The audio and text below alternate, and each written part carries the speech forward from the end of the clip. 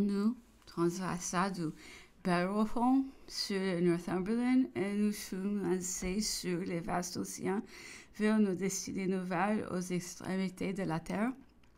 Nous avions suivi l'empereur un très grand nombre, et il ne fut permis qu'à quatre de partager son supplice. En les voyant partir, ceux qui restaient en arrière sanglotaient de douleur. Un de ceux qui avions le bonheur de le suivre ne peut s'empêcher de dire à l'amiral Keith qui s'est trouvé à côté. Vous observerez. De reste, milord, que ce sont ceux qui demeureront qui verseront des pleurs. L'empereur laissa après lui une protestation culte, simple et énergétique. J'ai la transcrit ici en note parce que les papiers ne l'ont publié qu'imparfaite. Venu, monseigneur, nous demandions donc l'amertume de nos cœurs et l'indignation de tels actes. Quel est donc ce guet-apens? Nous sommes-nous plus parmi les nations civilisées Où on est donc les droits des gens, la morale publique? Nous en appelions à Dieu, qui venge les perfidies. Nous le prenions à témoin de la bonne foi trahie. Il me serait difficile de vous rendre la tempête calmée en nous, c'est à vous, insultant de la force du mensonge sur notre innocente crédulité. Encore à présent de vous en parler, monseigneur, mes faits curieux, mais sans plus vite. Nous lisions donc les papiers quand nous avait fait prisonniers.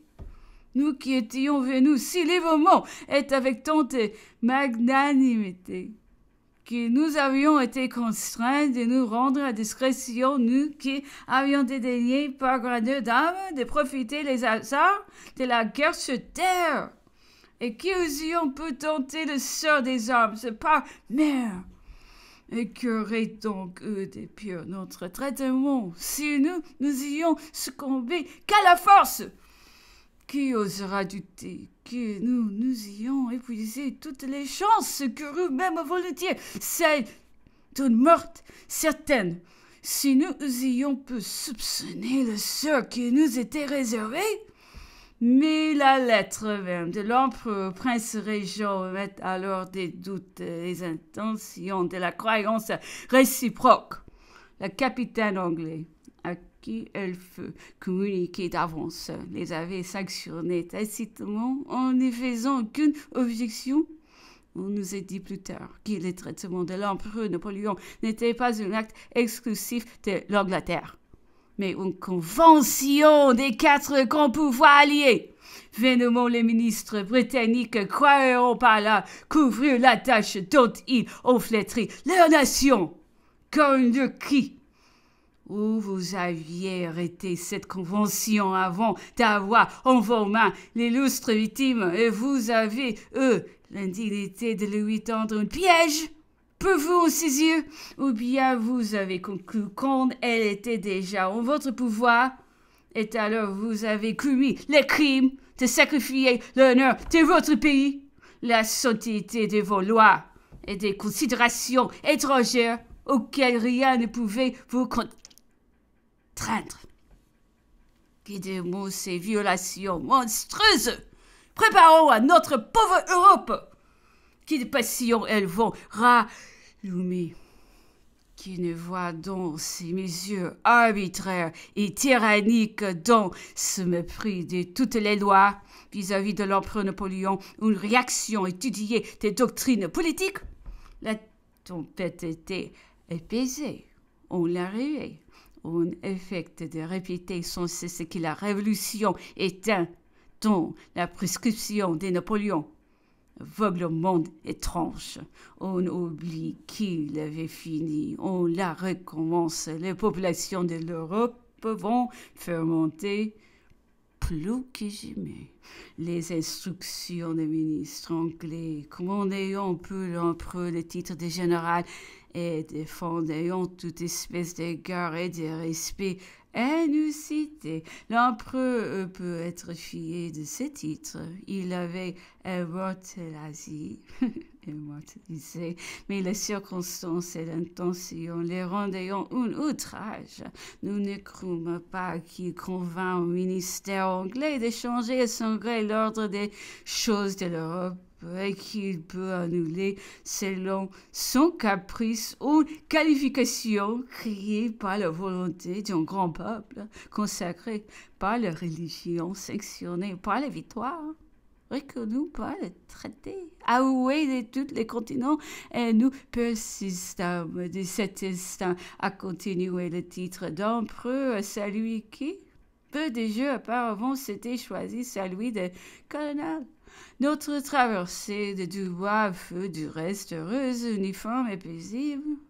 Les oiseaux, comme tous les points de la domination britannique, fourmillaient de pamphlets des libelles sur la personne, les caractères, les traits, les formes, les manières les actes de l'empereur.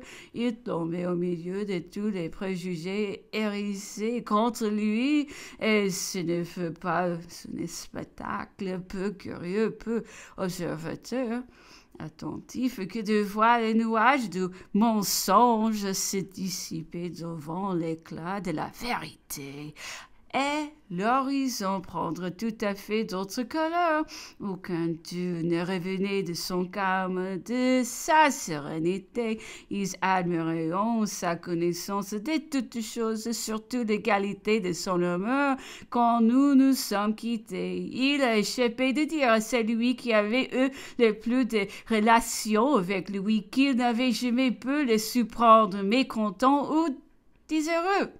L'empereur passait toute la matinée dans sa petite chambre vers les cinq heures. Il entrait au salon où il jouait une partie d'échecs avant de se rendre à table durant le dîner.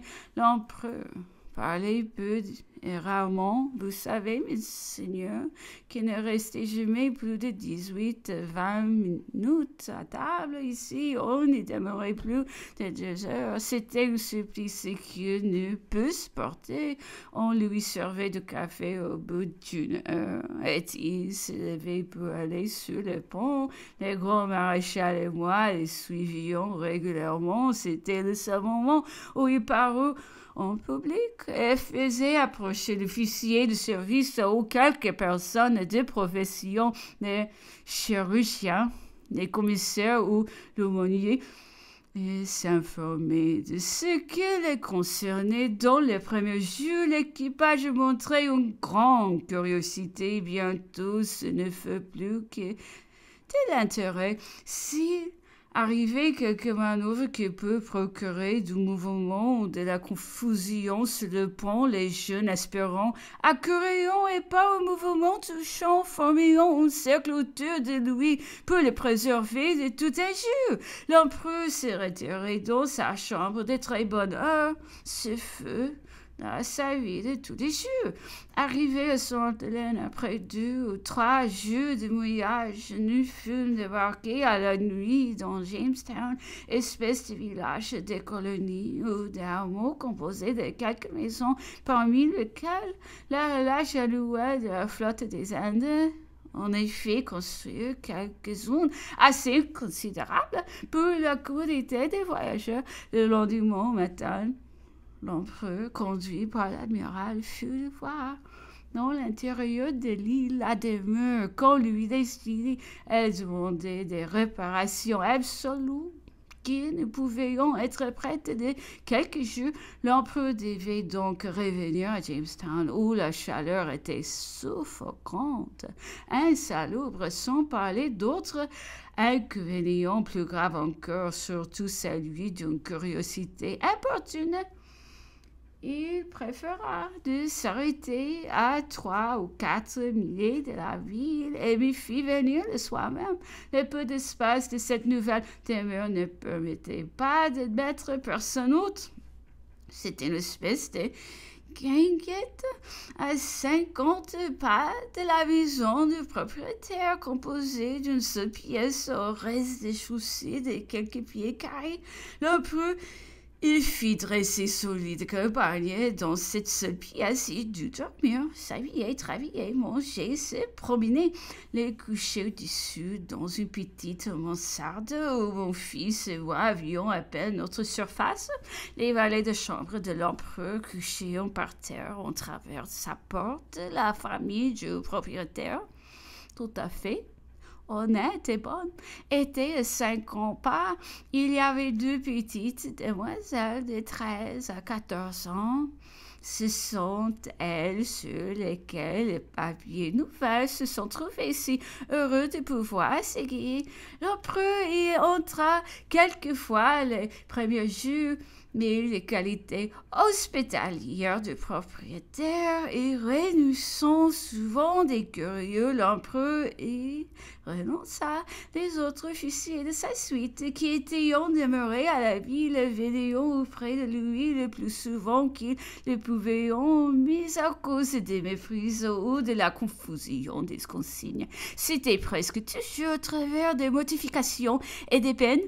L'empereur était très mal le mal en qui l'imaginerait. Monseigneur, on était obligé le premier jour de porter son dîner de la ville. Plus tard, on trouva moyen d'organiser une cuisine tant bien que mal. Il ne fut jamais possible de lui procurer un bain bien que ce fut devenu pour lui un objet de première nécessité. Il était obligé de sortir de sa chambre pour qu'on peut le balayer et faire son lit. Nous nous promenions sur le sol, rocailleux autour de la maison ou dans une allée de voisinage quand le soleil passait ou que l'éclair de lune nous les rendait praticables.